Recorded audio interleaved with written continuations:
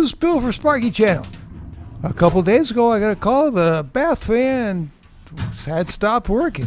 Here, I've flipped on the switch that turns on the fan, and it is just humming. Not working, just humming. I told the people, yeah, I could fix that, not a problem. Now, when a bath fan isn't working, the first thing you want to check is the wiring. You look for loose wires, broken wires, wires which the insulation has been worn off. When there's a, a plug, you make sure that the plug's plugged in all the way. And the fan needs to be served with proper voltage. If all those things are okay and the bath fan just isn't working, the next thing to check is the electrical motor that runs the fan. And if the fan body and so forth is in good shape, it's not broken or anything, then a new motor should fix the problem. Take the cover down, then squeeze the springs on both sides and it should come right off. Here's what the springs look like. Now I'll pull out the three prong plug.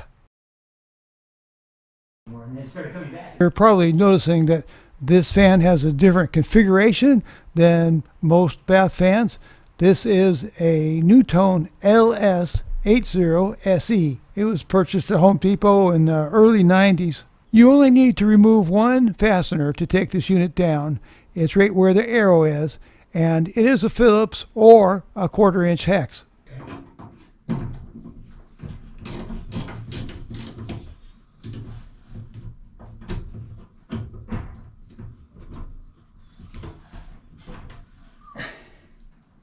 And here it comes. There's the unit. This is the inside of the metal box that the fan goes in. And you see those two little nubs there where the arrow is.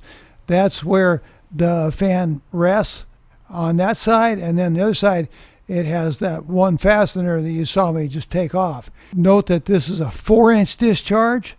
And this fan is meant for eight inch rafters. That's all important information if you were going to buy a new one. This is the blower that came out of my unit, and it differs from a lot of bath fans in that a lot of bath fans have ventilation fans as opposed to blowers. So let's take a look at the motor on this blower. The arrow is pointing to the stator of the motor. And what I noticed right away is that it is very rusty. Now, this isn't necessarily a sign that your motor's bad, but it is a red flag. Now the arrow is pointing towards the axial fan blades, which should be able to spin freely, but they can't. The motor is really just about seized, and it's very difficult to spin the axial fan blades at all. So we need a new motor. So I shopped around and I found this motor for $70 on Amazon and they actually delivered it in less than 24 hours. If you think that's a bad price, the price for the whole blower is 199. First, I'll remove the metal top. There's five screws, and they are quarter inch hex or Phillips, and you take off these five screws, and you'll be able to lift the motor and fan right out. Now remove two bolts, which are two inches long and they have a quarter inch head.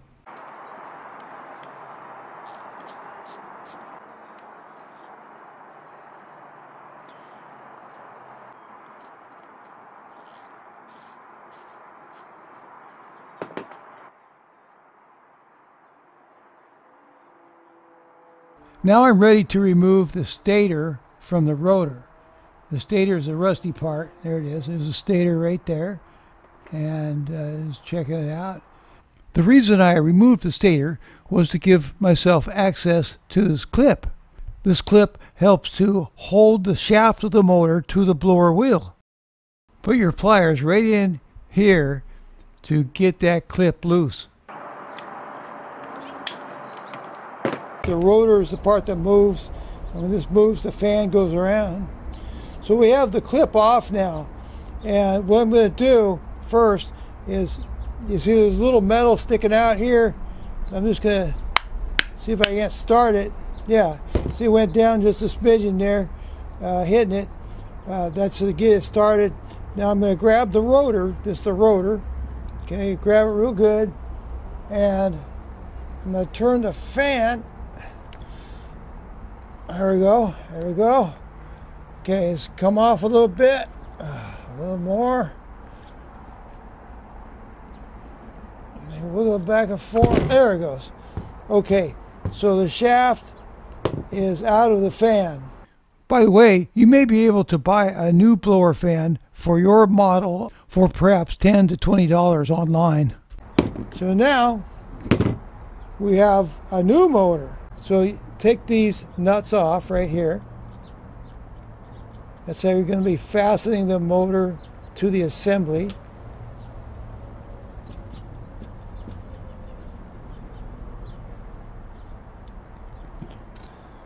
So it goes on like that. And we're going to put the nuts on.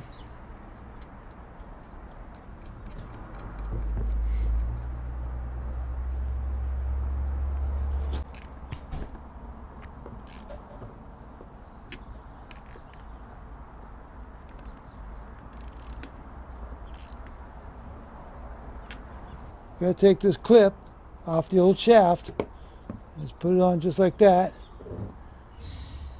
And now we're going to put on the fan onto the shaft. It's got a flat portion right here. It goes the flat portion goes right over here. So let's put it in just like that.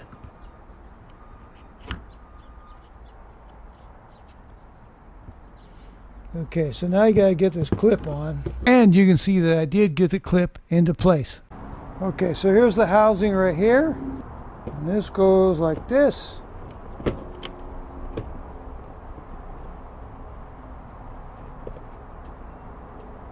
The screws go back through the face into the body of the fan.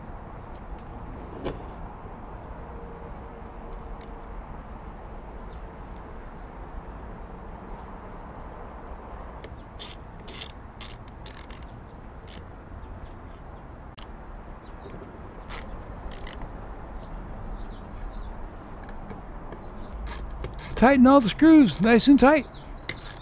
This yellow wire with the green stripe uh, attaches to the metal body of the uh, motor and uh, so that's going to get plugged in so that'll be our ground.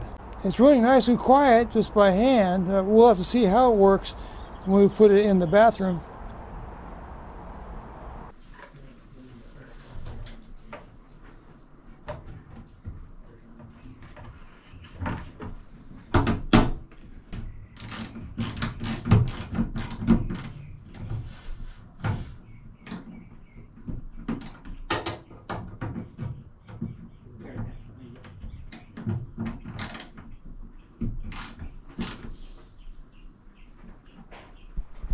Don't forget to plug in the plug. No, I just changed my mind. Now I'll flip on the switch and see how she works.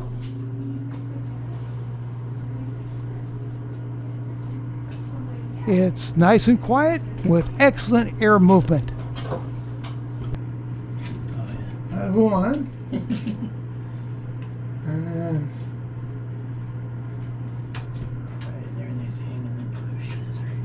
that's one there. There's that one. And it just goes up. There you go. Way easier when you're up higher. Okay, so is it straight? I think it is. Let me see. If it is, it's dumb luck. It's straight enough. Huh. Yeah. I, I'm It's up here, go. I can, No, I can move. Let's go with that luck. Huh? Let's go with that luck. Dumb luck.